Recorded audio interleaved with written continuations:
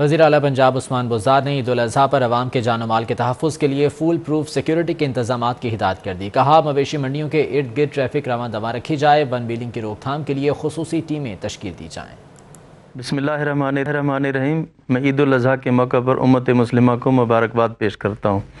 मैं समझता हूँ ईद की खुशियों में दूसरों को शरीक करना ही असल ईद है। जैसा कि आप जानते हैं, पाकिस्तान समेत पूरी दुनिया को कोरोना की चौथी लहर का सामना है।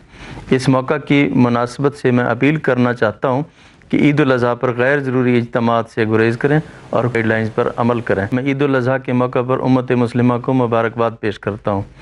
मैं समझता हूँ ईद की खुशियों में दूसरों को शरीक करना ही असल ईद है। जैसा कि आप जानते हैं, पाकिस्तान समेत पूरी दुनिया को कोरोना की चौथी लहर का सामना है।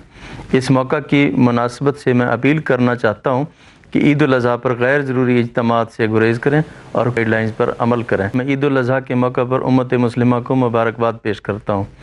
मैं समझता हूँ ईद की खुशियों में दूसरों को शरीक करना ही असल ईद है। जैसा कि आप जानते हैं, पाकिस्तान समेत पूरी दुनिया को कोरोना की चौथी लहर का सामना है।